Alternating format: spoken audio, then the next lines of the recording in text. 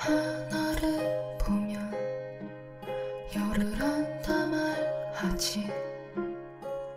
넌 그러지 않으면 안 될까? 너의 마음에 들지 않는 하나 때문에 너무 차갑게 마음